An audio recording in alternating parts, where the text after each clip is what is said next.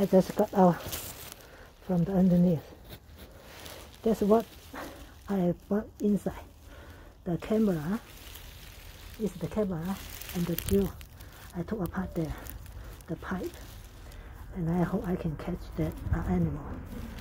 But I didn't, didn't see any animal.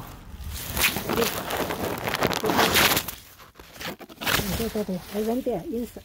I went inside twice. The first time I checked everywhere, no the animal.